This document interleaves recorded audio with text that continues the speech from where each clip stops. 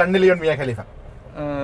ആരുടെ ഫാൻ എനിക്ക് ഇപ്പൊ അറിയണം. പറ. Sunny Leone. Sunny Leone. എന്തുകൊണ്ട് എന്തുകൊണ്ട് സണ്ണി ചേച്ചി ഉയർ. ആ ബാക്കി ഞാൻ ബാക്കി പറയുന്നില്ല. Okay.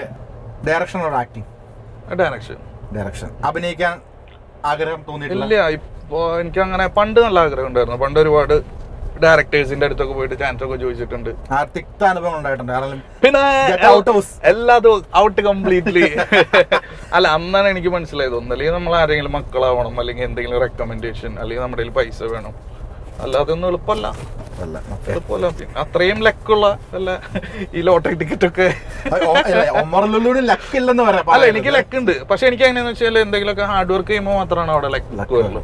നമ്മൾ ട്രൈ ചെയ്യണം എപ്പോഴും.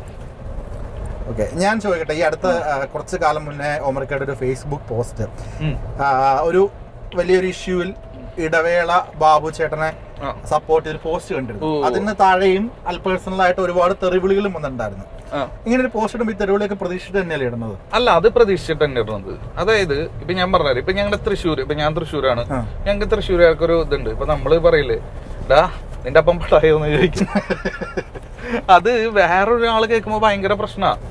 ഏഹ് ഒരു ഇന്റർവ്യൂൽ എന്തെങ്കിലും അയാൾ പടായി എന്നൊക്കെ പറഞ്ഞ് അത് ഈ തൃശ്ശൂരിന്റെ ശൈലി. അതേ ശൈലി തന്നെയാണ് ബാബുചേട്ടൻ ഉദ്ദേശിച്ചുള്ളൂ അതിൽ. അതപ്പൊ അത്ര വലിയൊരു ഇഷ്യൂ പാർവതി തിരുവോത്തിന്റെ രാജിയിൽ വരെ. ആ അപ്പൊ അത് അത്ര ഇഷ്യൂ ആക്കേണ്ട കാര്യം ഉണ്ടായിരുന്നില്ല. പുള്ളി ഒരു കൊളോക്കൽ ഒരു രീതിയിൽ പുള്ളിയെ സംസാരിച്ചതാണ്. പക്ഷെ അത് അങ്ങനെ അധിക്ഷേപിക്കണം എന്ന് ഉദ്ദേശിച്ചിട്ടോ അങ്ങനെ ഇതൊന്നുമല്ല ചില കാര്യങ്ങളൊക്കെ ഇപ്പൊ വെറുതെ ഇപ്പൊ ഈ എന്താ ഞാൻ പറയാ ഒരു മീഡിയ അറ്റൻഷൻ കിട്ടാൻ വേണ്ടിയിട്ട് ഒരു എക്സാമ്പിൾ പറഞ്ഞു കഴിഞ്ഞാൽ ഇപ്പൊ ഡബ്ല്യു സി സിയുടെ കാര്യമല്ല ഞാൻ കുറച്ച് പഴയ ഒരു കാര്യമാണ്. ഇപ്പൊ നടിമാരെ നടിമാരെന്ന് വിളിച്ചു എന്ന് പറഞ്ഞാൽ അതൊക്കെ ഒരു പ്രസ് മീറ്റ് വിളിക്കേണ്ട ഒരു ഇഷ്യൂ ഒരു ഇഷ്യൂ അല്ല. ആണോ നമ്മളെല്ലാവരും സാധാരണക്കാരനായിട്ടുള്ള എല്ലാവരും തന്നെ അല്ലെ നടീ നടൻ. അങ്ങനെ തന്നെയാണ് പറയുന്നത്. ആ പിന്നെ ഇതൊക്കെ നമുക്ക് എല്ലാവർക്കും ടൺ സ്ലിപ്പ് ഒക്കെ ഉണ്ടാവില്ലേ? ഇതൊന്നും ഇത്ര നമ്മൾ പ്രത്യേകിച്ച് ഒരേ ഇതിൽ വർക്ക് ചെയ്യുന്ന ആളുകളാവുമ്പോൾ അങ്ങോട്ടും ഇങ്ങോട്ടും പരസ്പരം ക്ഷമിച്ച് മുന്നോട്ട് പോകേണ്ട കാര്യമല്ലേ ഉള്ളൂ. തീർച്ചയായിട്ടും. അപ്പൊ ഇപ്പൊ ഈ തൃശ്ശൂരിന്റെ തന്നെ. ഇപ്പൊ ഇപ്പൊ ഞങ്ങൾ രണ്ട് തൃശ്ശൂരുകാർ ഇവിടെ നിന്ന് സംസാരിക്കണം കണ്ടു കഴിഞ്ഞാൽ ചിലപ്പോ തോന്നും. ഇവരെന്താ തെറി പറയണേ? ഞങ്ങളൊക്കെ കാണുവാടാ അമ്മായി എവിടാ നമ്മുടെ തൃശ്ശൂർ അങ്ങനെ ഇപ്പൊ നമ്മൾ ഇന്റിമേറ്റ് ഫ്രണ്ട്സിനെ കണ്ടു കഴിഞ്ഞാൽ അമ്മായി എത്ര നാളായി കണ്ടിട്ട്?